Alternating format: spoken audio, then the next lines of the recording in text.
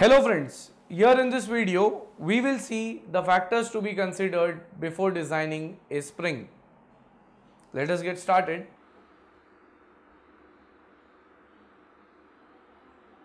Factors to be considered while designing springs. Now what are the factors that need to be considered?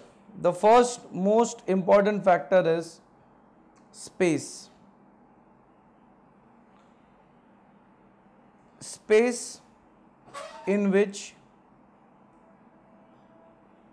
the spring will operate because according to the space we would be designing the spring.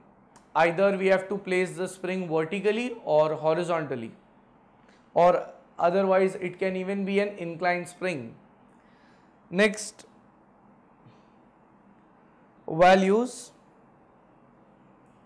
of forces and deflections. So here in values we have to know how much is the load which is acting on the spring and with the help of that load how much the spring is going to deflect that is what would be the change in shape of the spring. So the second most important point is values of forces and deflections. Next the third point is about accuracy and reliability of springs. Here accuracy indicates that if we have designed a spring for, for a particular amount of load then it should deflect only by that much amount. There should not be any more deflection of the spring. So accuracy is one of the important considerations when we are designing the spring. Then there is reliability. Reliability is related to life that how much would be the life of the spring that we have to decide before going on for the designing of spring. Next we have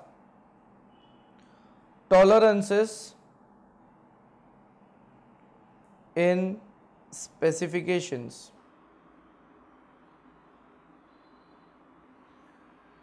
Tolerances whenever we are manufacturing any kind of an object or a product it cannot be made to exact size. There would be some variations and that is why we provide tolerances so that we can get the value within some range. So while designing the spring we have to even take care of the tolerances which are given in the specifications that is the dimensions of the spring. Next we have environmental conditions. Since springs are mostly made up of metals, then we have to see that in which environment they are used because springs they would be subjected to atmospheric changes. The spring will change its properties because of the temperature. It can expand in high temperatures or it will contract in low temperatures. So we have to see in while designing the spring where it is to be used. And then the last point which is there in the consideration is the cost of spring.